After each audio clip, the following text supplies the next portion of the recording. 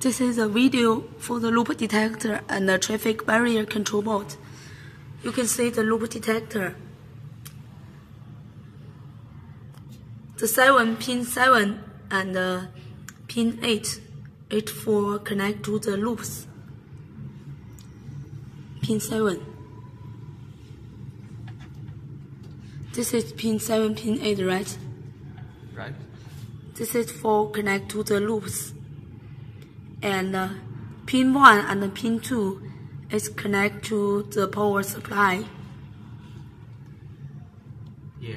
Pin 1 and pin 2. Your loop detector is 100 voltage to 214 voltage. So you can use the same power supply with the barrier control boards. Pin 5 and the pin 6 connect to the barrier there. This is for barrier down.